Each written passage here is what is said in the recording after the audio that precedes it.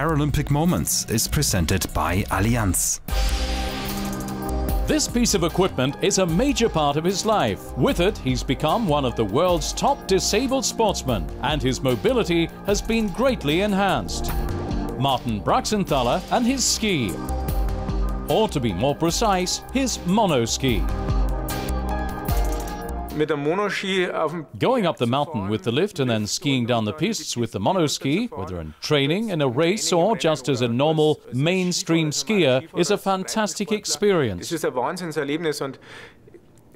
And it gives me back a lot of what I originally thought had been taken away. Being able to experience nature, the mountains, and the winter in a positive, natural way. And this experience has been part of the German's life for 14 years now, since fracturing his spine in an accident at work. Just three years later, he was already skiing for the national team. He's his own hardest taskmaster. And in 2006, after failure in the first competition, the 37-year-old kept his nerve and pulled out all the stops winning gold in the Super G, Giant Slalom and Slalom, making him the best German Paralympian at those Winter Games. The secret of his success?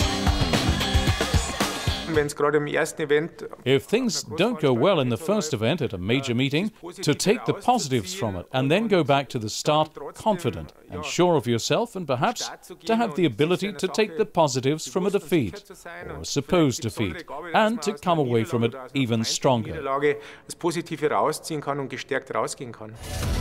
Combined with discipline and talent, it's precisely situations and experiences like these that make Martin Braxenthaler so good. In Whistler, Canada in 2009, he won his eighth World Cup. The dress rehearsal for the upcoming Paralympics had thus gone well. My target for Vancouver 2010 is to be amongst the medals again. Martin Braxenthaler. In his sport, he's achieved it all. And for him, at the 2010 Paralympic Games in Vancouver, everything revolves once again around gold. Paralympic Moments was brought to you by Allianz, patron of the IPC.